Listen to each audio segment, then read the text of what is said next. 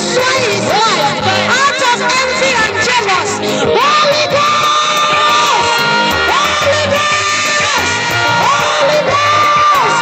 Holy Ghost! In the name of Jesus Christ. King of glory.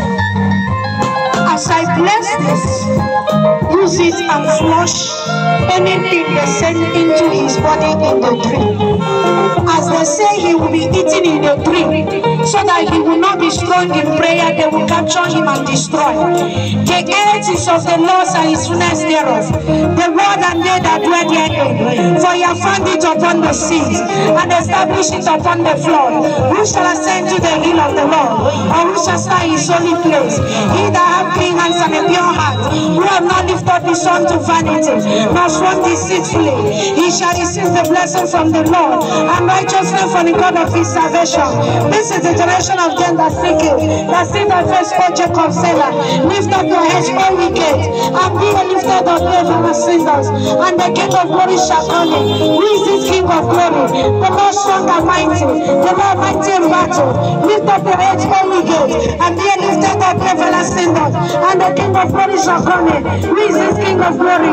The Lord of hosts. He is the King of glory. Selah. As I lift up my eyes unto the hills, from where cometh his help? His help comes from God, who made the heaven and earth. Selah. Jehovah. This young man that is fighting your son has sent homosexual men about six to come after him.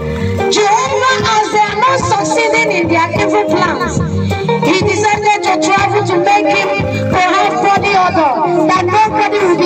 coming near him. Jehovah, only you can do back to the way you're supposed to do it. Jehovah, arise and defend him. Let his enemies be scattered. In the mighty name of Jesus Christ.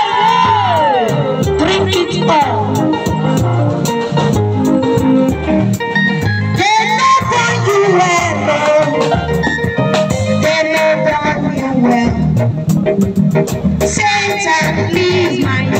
So I say, they. They never you well,